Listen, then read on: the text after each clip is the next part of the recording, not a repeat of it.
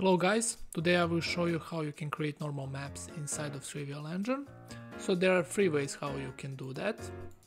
Uh, first option is to use normal map generator tool. So if we open it up, we see we have default image on the left and normal map on the right. We have an attribute that we can change, in this case it's an angle, and we can see this change in real time.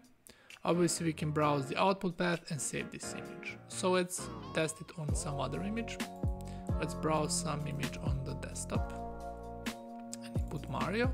And we can see on the left is default image and on the right we can get the normal map. So that's the first option. Second option is we can create, so let's say some kind of an image. Let's pick a pattern and we can create an image modifier node, can create a normal map. And we get the normal map of, of this image. So let's play it with these attributes.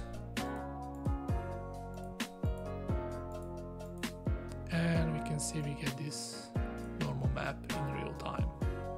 So that's basically the second option using the node editor and the third option is using the scripting. So if we open this Python image script editor, we can, let's say first create some kind of image. So image out is equal to pg underscore image generate. Now let's create bricks. Execute, we get this procedural bricks texture.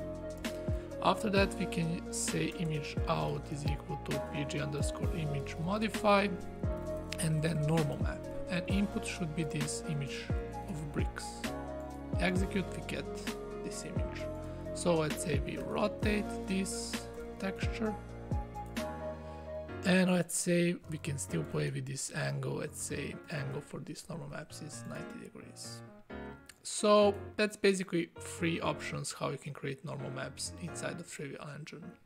Thank you guys very much for watching and see you next time.